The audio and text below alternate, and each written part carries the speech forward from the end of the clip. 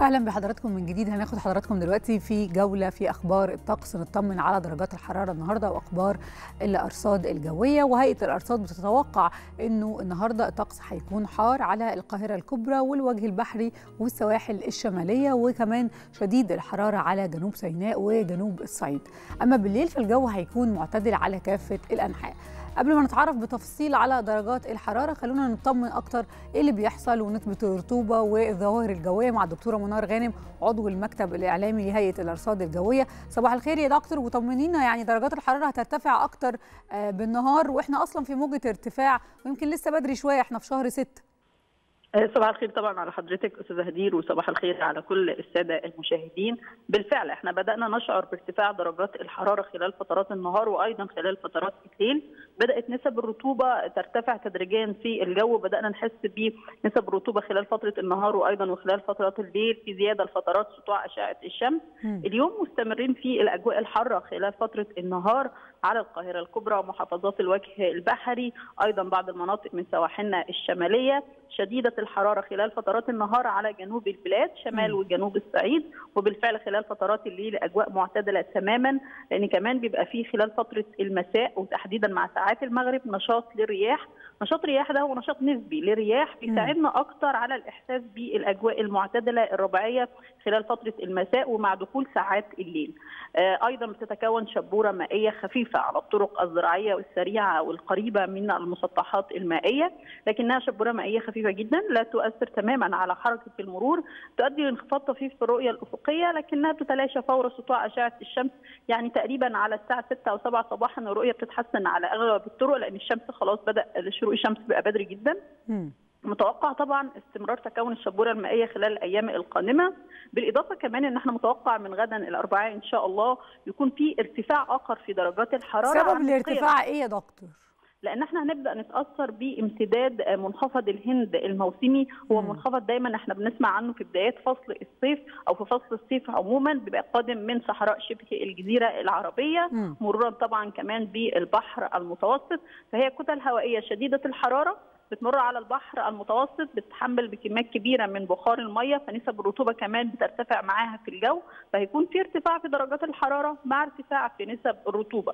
يعني إحنا غدا الأربعاء متوقع العظمى على القاهرة الكبرى تكون 37 درجة مئوية. وكل المحافظات يا دكتور منارة هتتأثر بهذا الارتفاع؟ بالظبط. كل محافظات الجمهورية هتأثر بارتفاع في درجات الحرارة سواحلنا الشمالية القاهرة الكبرى شمال وجنوب الصعيد. يمكن كمان في جنوب الصعيد درجات الحرارة هتتجاوز ال 43 وتوصل ل 44 درجة مئوية في الأقصر وأسوان. فإحنا مستمرين في ارتفاع درجات الحرارة. هنبدأ من غدا موجة ارتفاع في درجات الحرارة. الموجة دي مدتها قد إيه دكتور منار هيستمر معانا لبدايات الأسبوع المقبل إن شاء الله ليوم السبت والحد القادمين. مستمرين فيها.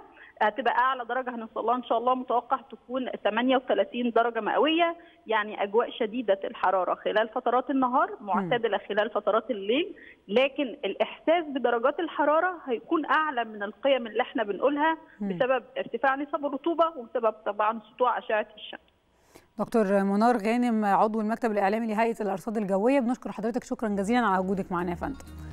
طيب زي ما أكدت دكتور منار في ارتفاع في درجات الحرارة هيبتدي من بكرة ومكمل معانا يمكن لحد يوم السبت والحد اللي جايين. فيعني كده نلبس ملابس خفيفة ويعني طول الوقت نتأكد إن إحنا بنشرب كويس جدا بنشرب مية على فترات طول اليوم علشان ما حدش يشعر بالحر طبعا على قد ما يقدر وكمان ما يحصلوش نوع من أنواع الجفاف. خلونا دلوقتي نتعرف مع حضراتكم على درجات الحرارة المتوقعة النهارده. نبتدي بالقاهرة الكبرى العظمى 35 والصغرى 24 اسكندرية العظمى 30 والصغرى 22 أما مطروح ف 29 22 سيوة 36 21 بورسعيد العظمى 30 والصغرى 22 أما دمياط فالعظمى 29 والصغرى 21 إسماعيلية 36 22 السويس العظمى 35 والصغرى 21 نروح للعريش والعظمى 31 والصغرى 22 أما طابة فالعظمى 34 والصغرى